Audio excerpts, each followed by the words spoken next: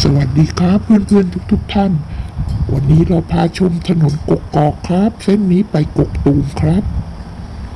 วิวธรรมชาติสวยมากๆ ขอบคุณ เพื่อนที่ส่งมาให้ด้วยครับ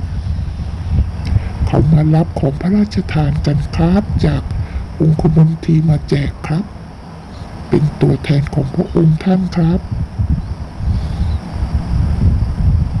ฝนตก ครับบรรยากาศเช้าวันนี้ แต่ทุกคนก็ยิ้มแย้มแจ่มใสกัน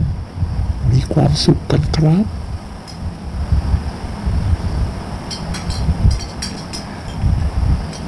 ดีครับ หลบฝนกันครับ เป็นภาพภาพหนึ่ง ที่ทุกคนปลื้มปิติและยินดีครับ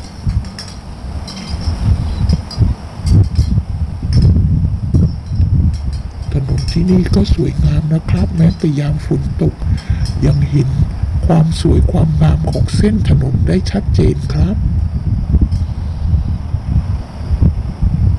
บรรยากาศธรรมชาติครับ หมอมาหอดคุณมาเขาหมอมาหอดก่อนชาวบ้านประชาชนนะไม่หอดประชาชนก็เต็มที่ ธรรมนาหน้าชิ้นนาฬิกาหมดเลยธรรมนาหมอต้องมาหอตำหลังเฮาเลยถ้ากำบมินั่นทัดเขาหรือหามาจัดเขาแล้วก็อยู่ร่วมกันจะกร่โดดเมื่อสิคนที่มาแค่ผู้แทนไม่ไม่ได้ไม่ได้ไปอยู่ในความสงบ